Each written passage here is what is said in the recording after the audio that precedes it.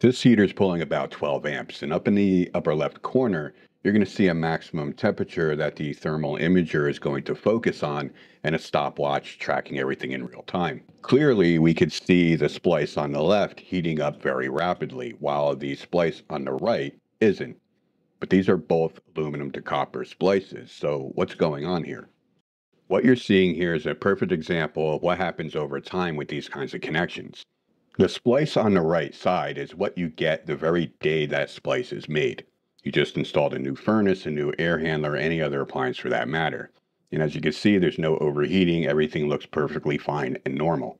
The splice on the left is what happens down the road with time. We have two things going on here, oxidation and creep.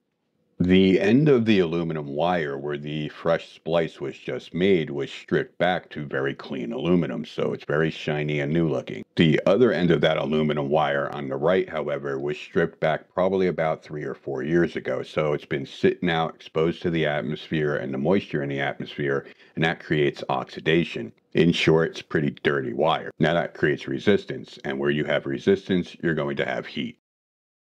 Now, aluminum is softer than copper, and when it's clamped down under pressure, like with a wire nut, it can slowly deform under that pressure. And every time the circuit powers up, it heats up that connection, and that just speeds it up even more.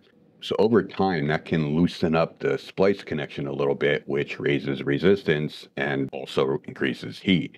And that's called creep, because that's exactly what it does. Little by little, over time, it just gets worse and worse. Now, as I speed this up, you can see within only two minutes, that wire nut is now starting to get hot as well. Starting to get a little bit soft under that heat, and the spring that's inside that wire nut is also starting to deform under that heat.